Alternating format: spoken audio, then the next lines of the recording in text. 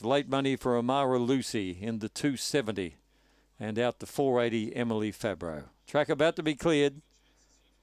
Only a field of five. There's the signal. Lure running. They're ready to go.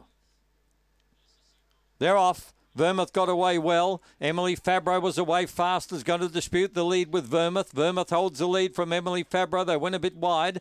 Rapid Fire Rita got up on the inside. They're followed by Amara Lucy. And last of all, Van Zandt. Down the back they go. Vermouth the leader, a length and a half. Emily Fabro went for the rails run, got chopped out, going past it. Rapid Fire Rita. Further back on the field, Amara Lucy, but Vermouth is clear on the bend. He went very deep, but he's well in front. And Vermouth goes on to score. Going to be tight for the Minors. Amara Lucy got up for second.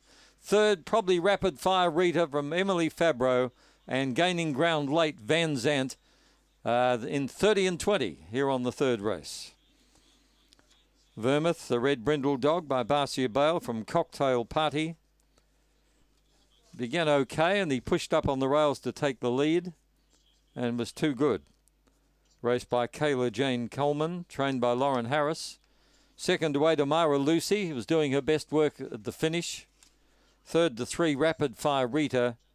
And fourth was seven, Emily Fabro. 30 and 19, 450, 17 15, and home in 1304.